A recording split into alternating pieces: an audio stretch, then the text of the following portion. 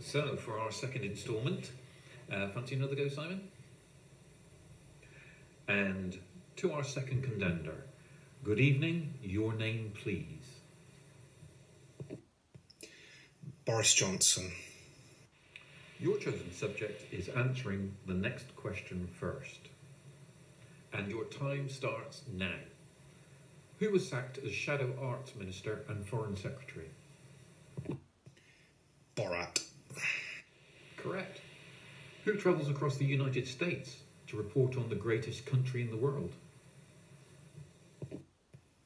Donald Trump. Correct. Who has averaged between 200 and 250 false claims per month since 2018? Uh, Pinocchio. Correct. I've started, so I'll finish. Which fictional character did Carlo Collodi write about? Marty McFly. Simon, all your answers were correct. You had no passes. Well done. Uh, Simon, how did you feel about that?